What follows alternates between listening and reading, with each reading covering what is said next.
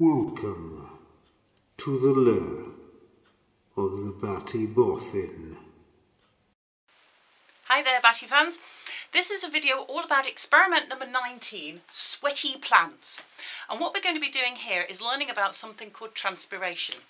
In order to do this experiment you will need some little cups or mugs or something, some water and some sticky tape, some plastic bags, not too big. I've got kind of largish sandwich bags. It's important that they're see-through though. And you'll also need some bits of green leafy something or other.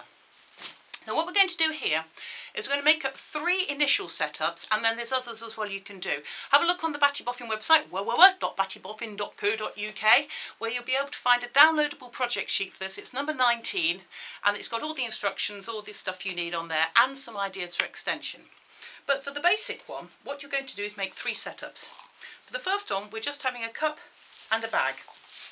So you'll need to get your bag, waft it about a bit so that it's got some air inside it. Don't blow inside it because that'll put water vapour in there. Your breath has got water vapour in it and this experiment is all about water vapour. So waft it about to get some air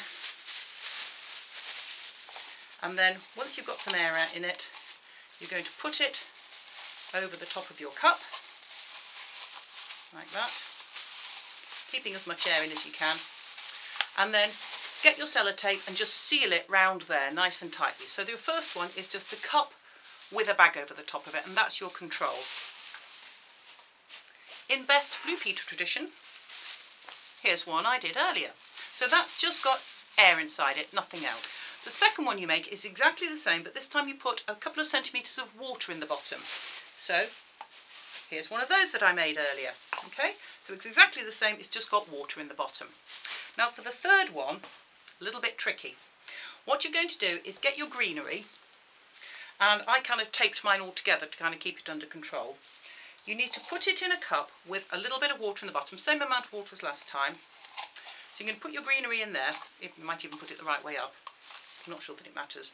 And then you've got to tape over the top around the greenery so that the water doesn't get out because on the second one we're looking at the water in the cup that's producing the water vapour. Here we don't want the water in the cup to be doing it so lots of tape all over the top so from side across here down there with the stalks in the middle. I'll just show you with one stalk obviously you're going to have more leaves on than that. Okay so you want to have the tape going back in front of it and to the side of it and all the way round taped nicely down so that the water and the water vapour can't get out of the cup. And then you put a bag over the top of that and it should look like this. So that's my third one. You see the water in the bottom down there. Make sure the stalks are in the water. And what you're going to do is put all of those in a nice warm place and leave it for a bit and just watch what happens. Hopefully you might see some water vapour collecting on the inside of some of the bags. Now, those are your three primary setups. As I say, on the project sheet, there are some other ideas you could try. But question is, what's going on?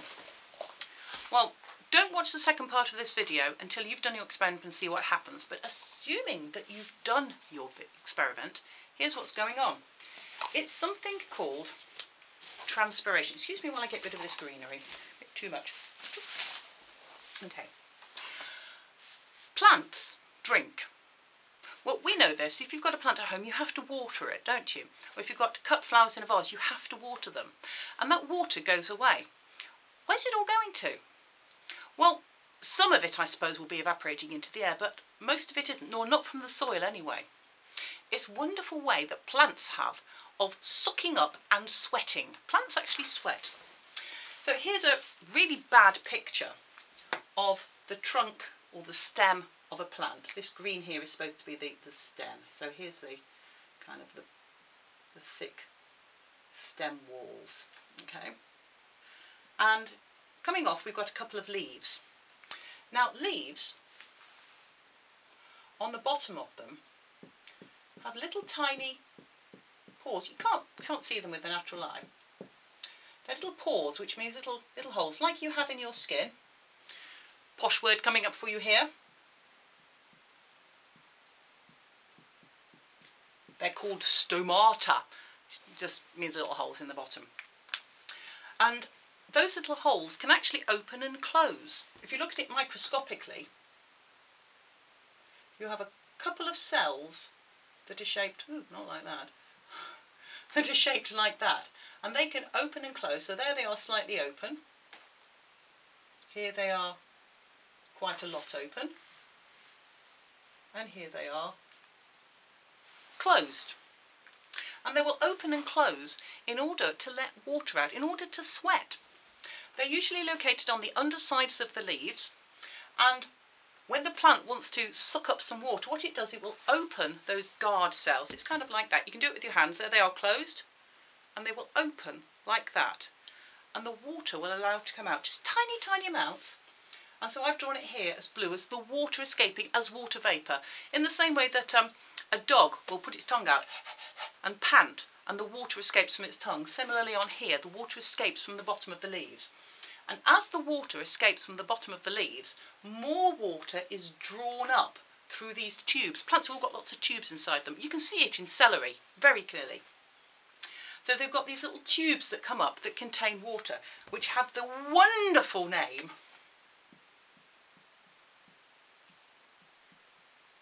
xylem. That's a really good name. It starts with an X, xylem. And they're the tubes that the water flows up and they go all the way down to the roots if you've got roots. If it's a cut plant, they just go into the vase. And so as the water evaporates from the underside of the leaves through these stomata, these little holes, more water is drawn up through the xylem tubes. And that's how come that plants can suck water out of a vase or they draw it up through their roots if they're planted in the ground. And that we should see in our experiment, hopefully, well possibly you might see the water going down, maybe, maybe not, but you should certainly see this water vapour as it comes off from the leaves gathers on the inside of the plastic bag. If you tried some of the extension experiments, I'll leave you to work out which ones of those should be getting condensation on the inside of the bag through transpiration. I'll write that on the board. This is called transpir, I'm not going to write a Transpiration. Transpiration. That is the evaporation of water through the stomata that leads to the drawing up of water through the xylem tubes. Fab name. See you next time, Batty fans.